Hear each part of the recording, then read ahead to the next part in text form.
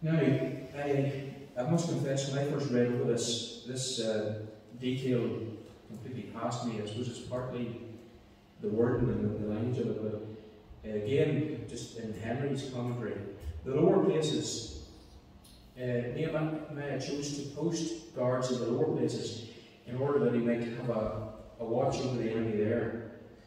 But as the wall progressed, it, it obviously was built at a higher rate in different areas and a slower rate in others. He also placed uh, men on top of the wall, as it were, with uh, bows and arrows and whatever weapons they would use, to be able to rain down on the enemy. And if I have taken it up right, Matthew Henry says that this shows the need for specifics, the need for planning. Nehemiah didn't just call the people out in one body to go and stand against the enemy. He looked at the actual survey the territory um, and decided there were different roles for different people.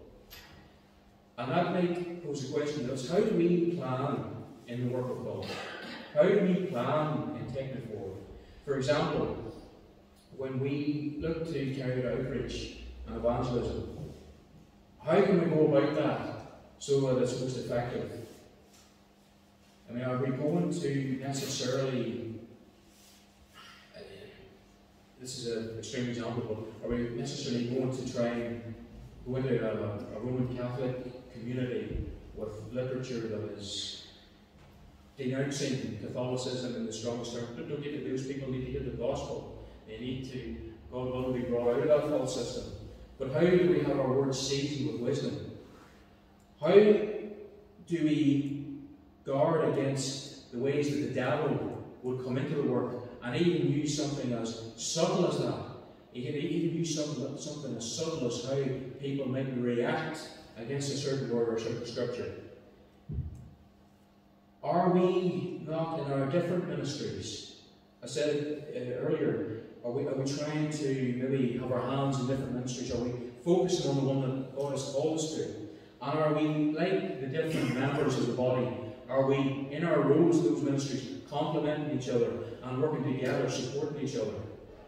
Are those that are doing the evangelism, well, when people, God willing, if souls are brought in, what sort of, uh, do we have Bible studies for them? Do we have um, the likes of uh, what um, Ned and family are involved with in chemistry to foster, not, not only to reach people, and, and bring them side of the gospel, but to foster an interest in young people, to give them somewhere where they can uh, be ministered to and they can come into a, a friendly environment, an environment where they're comfortable. These are things that we need to put into practice as well. Uh, the Word of God, the Word of God calls us to be disciplined, to, be, to have clear goals. The enemy is focused. The our enemy is laser focused. He will go in on any chink in our armour, even the slightest thing. So therefore, our God is able to do exceedingly abundantly all what we can imagine, but we need to pay attention to details as Nehemiah did, we need to be objective and be organised. So, following on from this encouragement that he gives to the people, and the spur that he gives to the people, we see in 15, verse 15, And it came to pass when our enemies heard that it was known unto us, and God had brought their counsel to naught that we returned all to the wall, every one unto his work. And it came to pass from that time forth that the half of my servants wrought at the work, and the other half of them held both the spears and shields and the bows. The habergeons and the rulers were behind all the house of Judah, they which built the wall, and they which bear burdens. Those that were aided, every one with one of his hands wrought in the work, and with the other hand held a weapon. And I think that refers in some respects to what I've already said. Uh, that you know the men of, of Judah they were on the one hand building, they were also standing guard, they were also prepared. That's a matter of how we need to be. We need to be involved in work, but also be very wary, because if the work is taking place and is fruitful, the enemy will try to pull it down. Uh, also, notice people didn't rest on a temporary victory.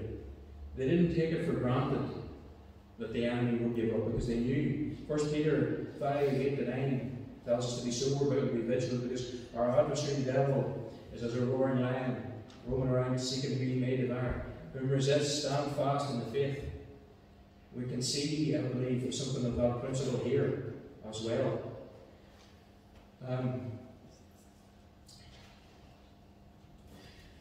and of course, one other point I would make, I've said this before, now all of the people would have been involved in the work in one shape or another at that time.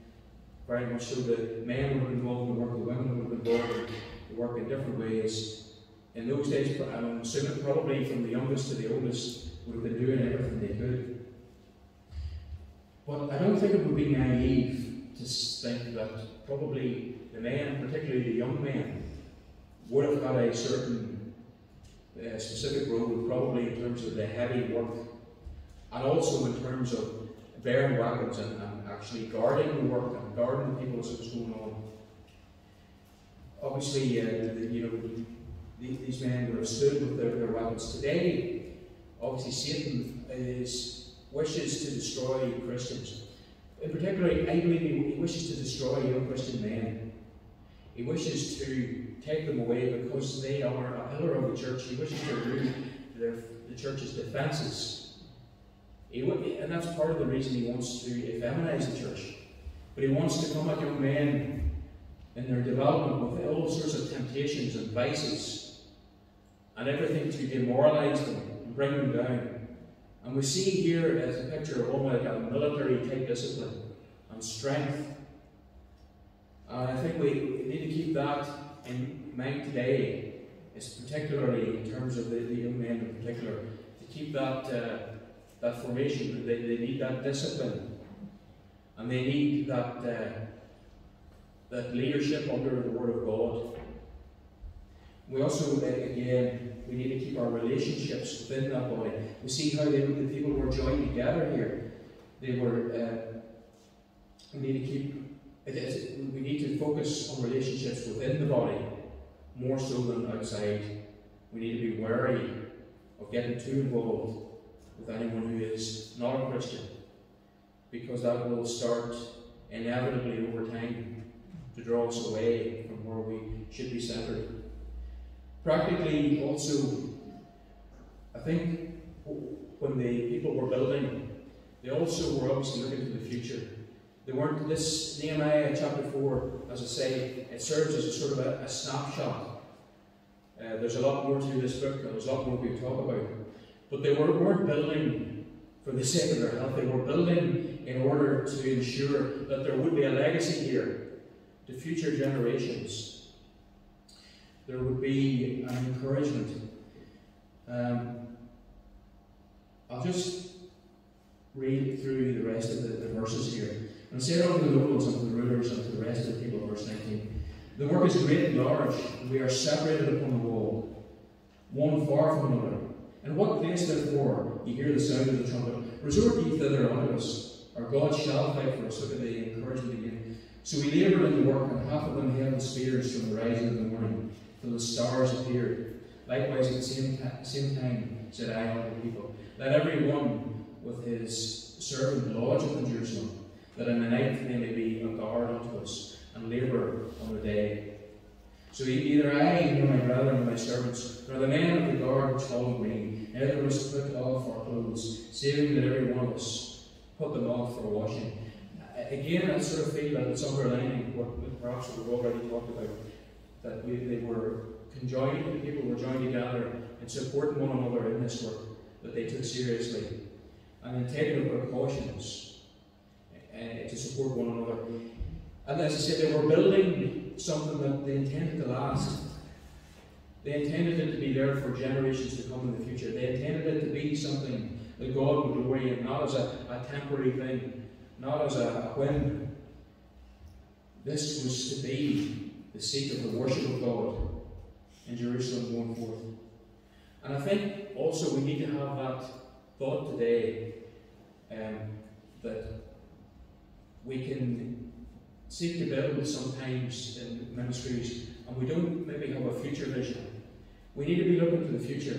We need to be looking to our young people coming up and how do we, what sort of ministries do we set up that will give them uh, work to work with, that will encourage them and spur them forward.